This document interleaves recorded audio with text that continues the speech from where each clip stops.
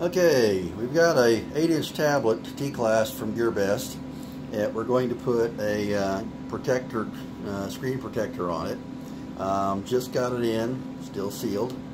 So let me uh, open this up and we'll be right back. Okay, we've got it, I guess it opens on the other side. There we go.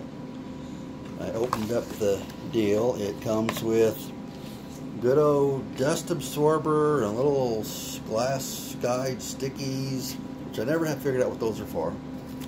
Um, you got wipes, a wet one and a dry one to prepare the surface. You have a screen and with a uh, protector on it. So,